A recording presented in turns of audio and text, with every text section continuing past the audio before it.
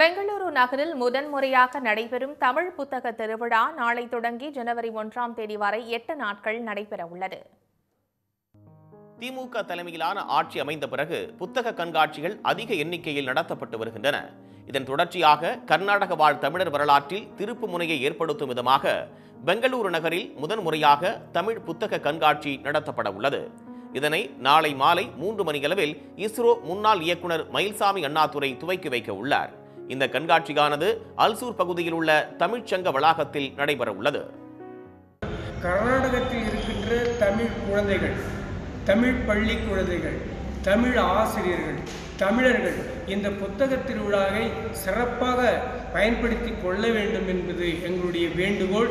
நாங்கள் பத்திரிகையாளர் சங்கம் சார்பாகவும் கர்நாடக தமிழ் பள்ளி மற்றும் கல்லூரி ஆசிரியர் சங்கம் சார்பாகவும் உங்களுக்கு ஒரு வேண்டுகோளாக வைக்கின்றேன். அனைவரும் வாருங்கள். ஒன்றிணைவோம். தமிழை வளர்ப்போம். தமிழர்களாக வாழ்வோம். பெருமை சேர்ப்போம் என்று தமிழும் நாமும் வேறல்ல.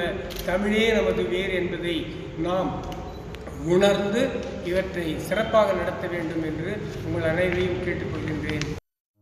கர்நாடக தமிழ் பள்ளி மற்றும் கல்லூரி ஆசிரியர்கள் சங்கம் மற்றும் கர்நாடக தமிழ் பத்திரிகையாளர்கள் சங்கம் இணைந்து இந்த புத்தக கண்காட்சியை நடத்துகின்றன.